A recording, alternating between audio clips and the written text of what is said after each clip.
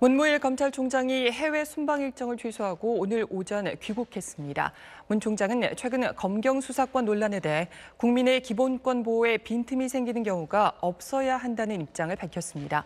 김기태 기자입니다. 해외 순방 중이던 문무일 검찰총장이 남은 일정을 취소하고 오늘 오전 인천국제공항을 통해 귀국했습니다.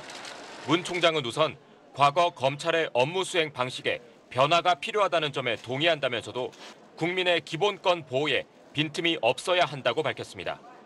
기본권 보호에 빈틈이 생기는 경우가 어, 없어야 한다고 생각하고 국가의 수사 권능 작용에 혼선이 발생하여서는 안 된다고 생각합니다.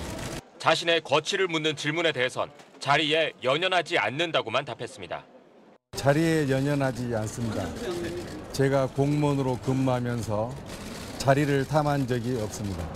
문 총장은 또 박상기 법무부 장관이 어제 검찰을 향해 겸손하게 논의에 임하라고 언급한 데 대해선 옳은 말씀이시고 나름의 사정이 있을 것이라면서 수사권 조정안과 관련한 구체적인 입장은 조만간 차분히 말할 기회를 갖겠다는 답변을 내놨습니다.